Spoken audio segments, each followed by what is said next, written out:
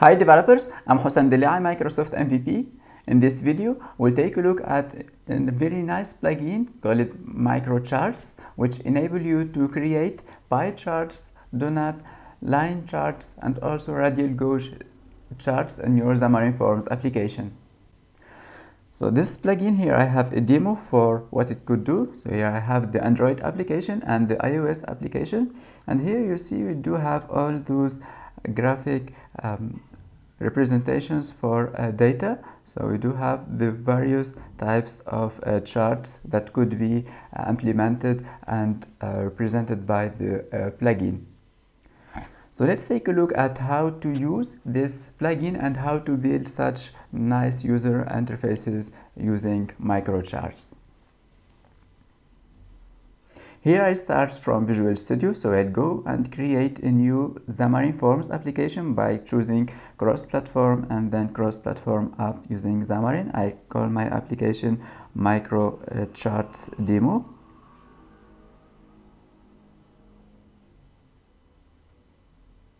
Then from here I choose that I want my application to use portable class library instead of shared project. Click OK.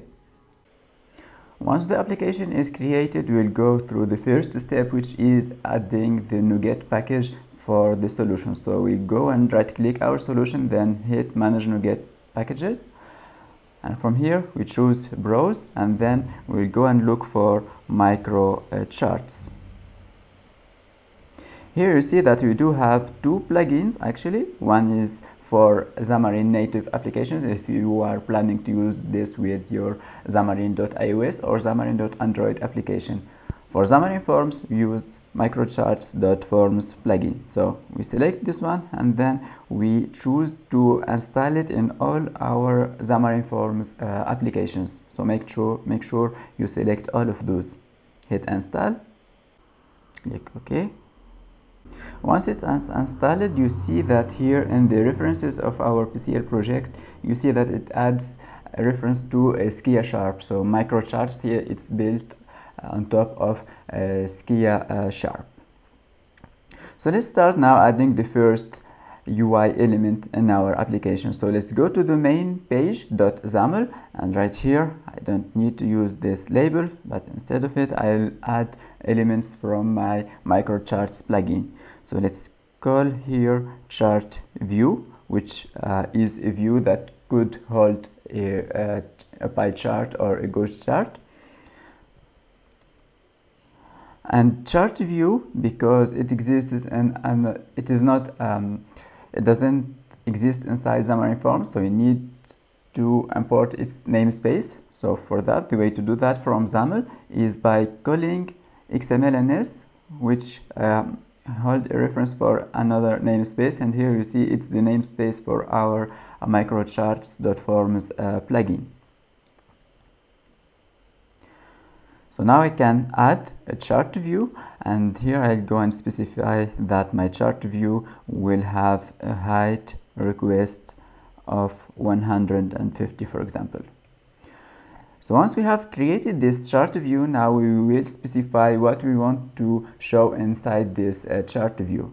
So let's give it a name so then we can use it from our uh, C sharp code. Let's create x.name and let's call it chart1 now let's go to our C sharp code and let's add the other code required to create a chart.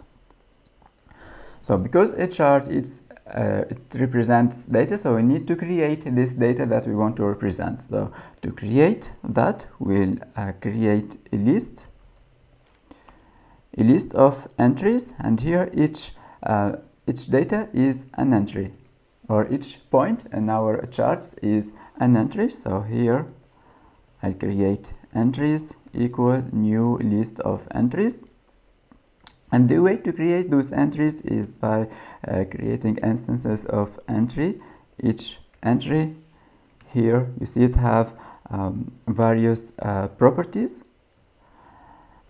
Here you see it's showing me the entries it created a Xamarin Forms entry but we want to use that because here we want to use the entry coming from our microcharts.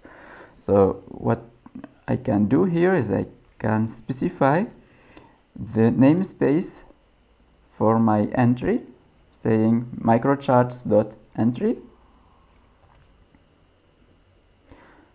and then I have to do that also here so if I choose to do this then I have to uh, specify microcharts.entry in every um, in every time I use entry. But we have a better uh, option right here. What if I can do using entry? So each time I call entry I want to use the entry coming from microcharts instead the one coming from uh, Xamarin Forms so I choose this solution because it's uh, better for me. And here each entry so it have to accept a value of type float which represent the value of that point. So here let's say for example this one will be 200 and then we can specify other properties like the color. So let's choose a color right here. Let's choose this color for example then other data are the label so which uh, what I want to show inside that uh, entry. So as you see right here each entry have um, a color then uh, the entry and also a value. So let's create the first label here. Let's say this is the data for uh, January. Then also we can add value label and that's the label that will be shown inside the text. So here because we specified 200 we want to show also 200 I'll go and add two other uh, entries uh, to show the data for February March and so on. Now that we have created those entries now we want to uh, show them inside our chart. So let's call our uh, chart 1 right here. So let's say chart 1 dot chart equal new uh, here we from here we can uh, choose which type of chart we want to use. So here we do have the bar chart donut line point and radial gauge chart. Let's start by uh, radial gauge uh, chart for example. And from radial gauge chart it, we need to uh, specify the entries for this chart so let's say here entries equal the entries that we already uh, created. So it's this simple to create a bar chart to represent those uh, data. So it's just some lines of code.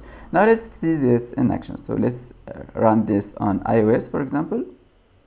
Let's choose simulator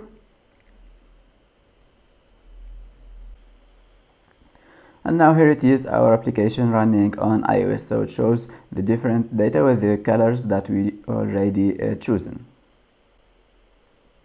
The same way we have used radial gauge chart we can use the other charts so here you can go and choose for example a bar chart and also I can choose the other one donut chart. Or I also can uh, can use donut chart point chart. So with, from those different charts you use the one that suits uh, the type of your data.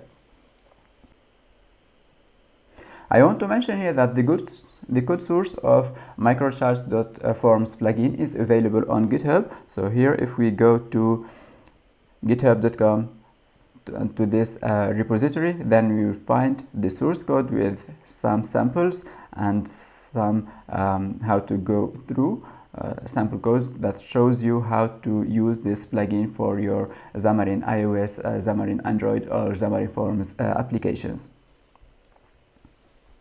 So I hope this video was helpful for you and thank you.